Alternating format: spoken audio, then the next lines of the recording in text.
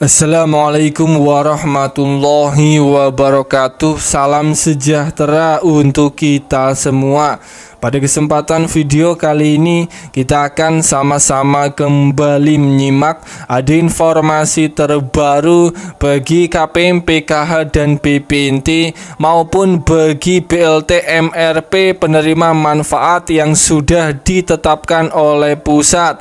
Dan ini terkait jadwal penyaluran bantuan PKH tahap kedua dan BLT MRP khusus bagi KPM yang cairnya lewat kartu KKS PKS Merah Putih dan pencairan BLT MRP bonus 600.000 di bulan suci Ramadan yang penuh berkah ini yang harus diketahui oleh semua KPM. Kira-kira mulai kapan uang PK tahap kedua maupun BLT MRP 600.000 akan kembali dicairkan di bulan Ramadan bulan penuh berkah ini semua KPM harus mengetahuinya.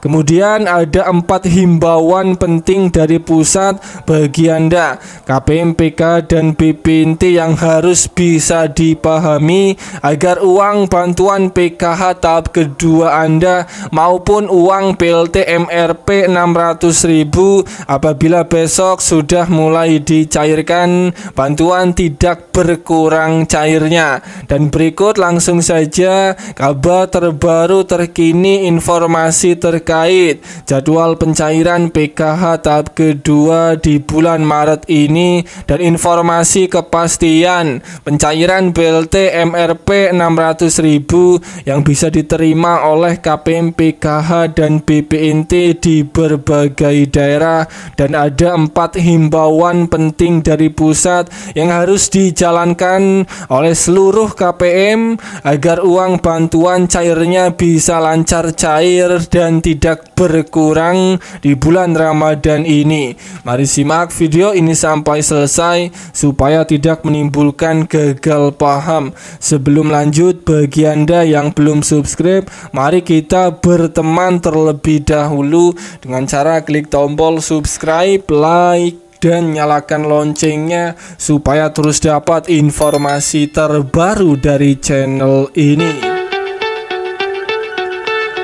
Informasi yang pertama perlu diketahui bagi Anda KPM PKH yang sudah cair bantuannya di tahap 1 kemarin maupun bagi Anda KPM BPNT yang sudah cair bantuan BPNT tahap keduanya kemarin lancar cair uang PKH dan BPNT sudah cair semuanya. Saya ucapkan selamat. Walaupun ada KPM PKH yang cairnya di tahap 1 kemarin itu berkurang tidak sesuai harapan tetap disyukuri saja yang penting bantuan masih bisa cair. Saya doakan semoga pada pencairan PKH tahap kedua di bulan Ramadan ini semoga bantuan PKH tahap kedua Anda masih lancar cair tidak ada masalah.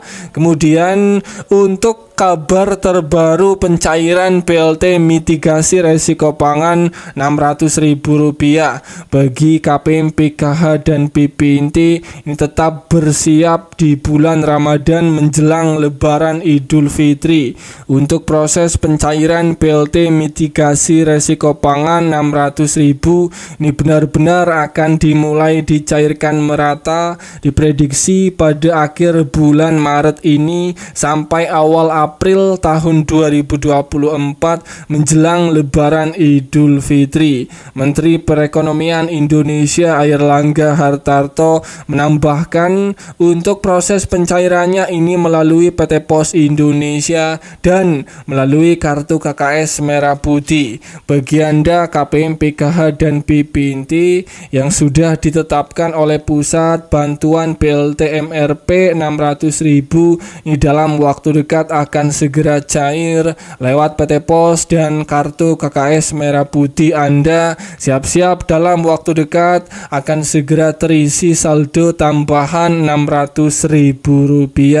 Kemudian informasi terbaru terkait ada himbauan penting dari pusat agar bantuan PKH tahap kedua Anda dan BLT MRP 600.000 Anda cairnya tidak berkurang besok apabila pencarian pencairan sudah dimulai. Empat himbauan tersebut yang wajib diketahui. Yang pertama, dipastikan kartu KKS wajib dipegang sendiri-sendiri oleh KPM, PKH, dan BPNT. Disimpan sendiri kartu KKS-nya. Jika KPM kartu KKS dipegang oleh pendamping ataupun oleh orang lain, harap segera diambil kartu KKS-nya. Ini mengantisipasi terjadinya potongan-potongan yang tidak jelas atau pungutan liar dan hal ini merugikan si penerima manfaat PKH maupun penerima manfaat BLT MRP 600.000 supaya bantuan bisa tepat sasaran dan tidak disalahgunakan. Kemudian himbauan yang kedua dipastikan KPM PKH dan BLT MRP pada saat pencairan besok ini menerima bantuan PKH dan BLT MRP secara utuh, tidak ada potongan-potongan dan KPM PKH dan BLT MRP 600.000 ini juga harus mandiri mengambil uang bantuan sendiri supaya tidak ada potongan-potongan yang merugikan penerima manfaat PKH BPNT maupun BLT MRP. Kemudian himbauan yang ketiga yang wajib diketahui oleh KPM PKH dan BPNT maupun PLTMRP 600.000. Ini uang bantuan dipastikan untuk tidak membeli rokok ataupun untuk membeli bukan barang-barang yang bukan kebutuhan pokok seperti kosmetik, pulsa ataupun barang-barang yang bukan kebutuhan pokok lainnya. Kemudian himbauan yang keempat, sebelum pencairan PKH tahap kedua dan PLTMRP 600.000 besok dicairkan ini adalah bantuan PKH dan BPNT maupun BLT MRP 600.000. Ini boleh untuk membeli kebutuhan sekolah seperti untuk membeli buku dan alat tulis ataupun untuk membayar SPP ataupun untuk membeli seragam dan ini bagi komponen yang ada anak sekolahnya dan bantuan PKH dan BLT MRP juga dipastikan untuk membeli bahan kebutuhan pokok yang bermanfaat seperti buah-buahan dan sayur-sayuran. Dan itulah beberapa himbauan penting dari pusat bagi KPM PKH dan BPNT maupun BLTM RP 600.000 yang harus diketahui oleh semua KPM. Semoga ini bermanfaat. Sampai ketemu di berita lainnya.